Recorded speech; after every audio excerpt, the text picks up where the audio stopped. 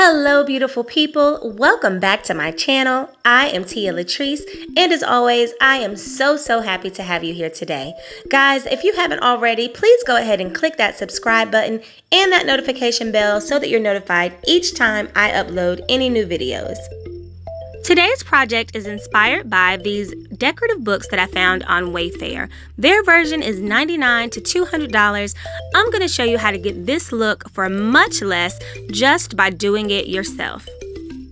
If you've spent any amount of time on the Wayfair site, you've probably come across these book collections in a variation of colors and sizes, but the cost is $99. And if you get one of the more decorative pieces, they tend to be about $200 and sometimes can cost even more than that. So I'm going to show you how to do this on your own, just using some materials that you probably already have. For this first look, you're going to need 8 to 12 hardcover books, some twine or ribbon, and be sure that when you're choosing your books that they are in the color palette of your choice and that they are about 1 to 2 inches of one another in terms of height. Be sure to begin with the books you already own and have on hand for this project. If you don't have the books that you need, you can always pick up extra books from the Dollar Tree as well as Goodwill or the thrift store for about a dollar or close to a dollar each. Once you've gathered all the books that you need, you're just going to remove that paper or plastic flap that's covering the hard cover of the book. We're going to use the hard covers, of course, to organize and coordinate our set. So once you have all of the covers removed from your books, you are just going to go ahead and stand those up and you're going to begin to arrange them according to your visual preference. So most of my books are black, but they do have different lettering on the binding. Some of them are white, some of them are silver. So what I'm trying to do here is just organize them in a way that no two books are beside each other with the same color book and the same color um, writing on the bind. So I may have two black ones beside each other, but the writing is in silver, then in white, or whatever the case may be be. I just wanted to make sure it wasn't too matchy um, in between. So I just organized them in a way that I thought looked nice. I really tried to work that white one into the mix, but it just did not work. So I ended up finally removing that one out and just going with the black, gray, and cream colored books with the white and silver and black writing. Another thing I tried to be mindful of is keeping the taller books more toward the middle and then keeping the shorter books on the end. It just is a little bit more visually appealing. And then once I had them arranged the way that I wanted them, I just took some twine or you can take some ribbon, but this twine came from the Dollar Tree, comes in a pack of three and it lasts for a really long time. If you decide to go with ribbon, of course, they sell beautiful ribbon at the Dollar Tree as well. You're just going to take that and tie it around. Because this particular twine is a little thin, I wrapped it around about three times and then just tied it in a bow. But you can do whatever is visually appealing to you. Also, if you need to, feel free to just cut off any straight edges of that twine. It was a little um furry, I guess I would call it. So I just went with my scissors and uh, trimmed the excess just so it would look nice and neat before uh, styling this on my shelf. And once that's done, here is our finished product. Love the way this turned out. You can use as many or as few books as you like in any color arrangement. Of course, my office is black, white, and gold, so I thought that this would look very nice. When styling this piece, you could put it on a bookshelf or on the top of a console table. You can also use it for uh, built-ins that you have where you have extra space that you need to fill in. But it's a beautiful piece that could add to any room. So moving on to our second look, you are going to need three to five hardcover books, some decorative covering of your choosing, twine or ribbon, which is completely optional. Now, to cover these books, you can get very creative. You can use wrapping paper, shelf liner, construction paper, whatever suits your uh, your style and your imagination. But as you can probably tell here, if you watched my previous video, I'm just using some leftover um, shelf liner that I had from a previous project, and I will tag that video above.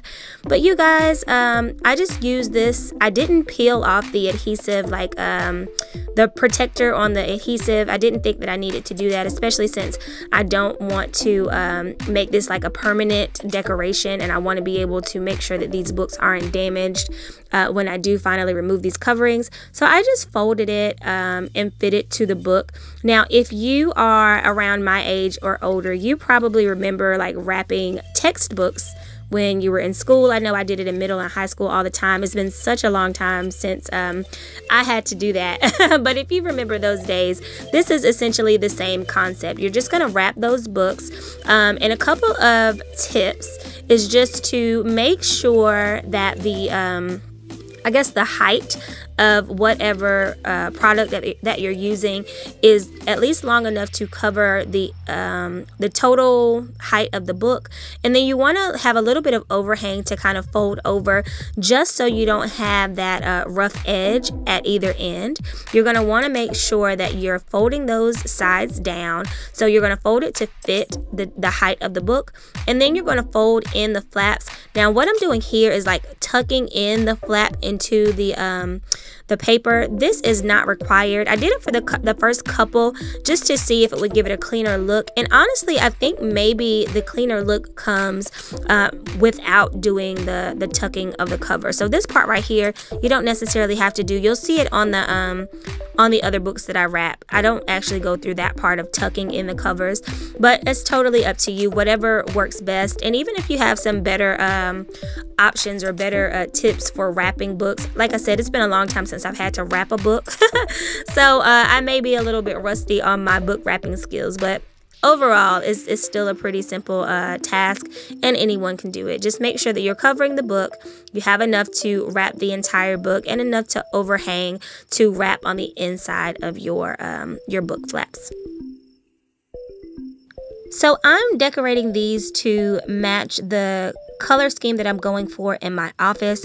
However, I think it would be a really cute idea to do these to maybe fit the season or to fit the decor of any room that you're in. I mean, it doesn't have to be specifically for an office, it could totally be on a bookshelf or a mantle in your living room, um, maybe even in your dining room. You could very easily coordinate the uh, the coverings to um, match your fall decor as well as any Christmas decor that you may be doing. Um, this is just such a versatile um, project, and it really can be anything that you make it. You could even do solid colored uh, coverings on these, and then put like some sticker letters on the sides to create a message. I think that would be really cute. I've seen that on uh, the Wayfair site as well as some other sites as well. So that's definitely something that you can do.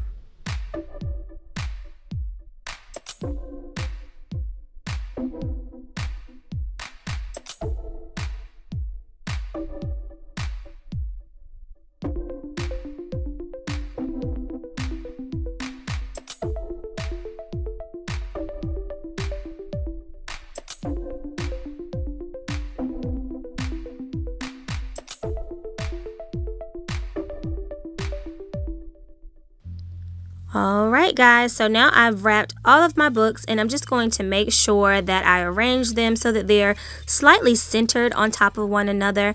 You always have the option to add a ribbon or twine on this as well to give it more of that finished look.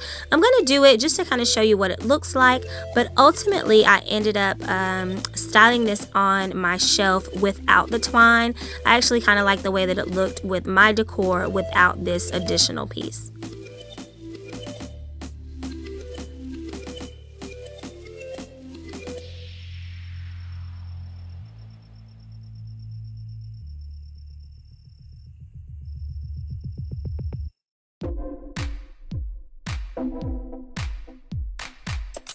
All right, guys, here is our finished look. How do you like it? I absolutely love this look with or without the twine. I think it's absolutely beautiful. And also, the very best part about this is that we didn't spend a hundred or two hundred dollars to get it. For just a few dollars, we were able to create this high-end look on our own that can be styled in any room in our home. You can style these two pieces together or separately, and it just adds to any room. So let me know what your thoughts were. Would you have done anything different? Did you actually do this project at home? Let me know your thoughts in the comments below. And guys, be sure to click that subscribe button and the like button if you haven't already. I appreciate you so much and I look forward to seeing you next time. Bye.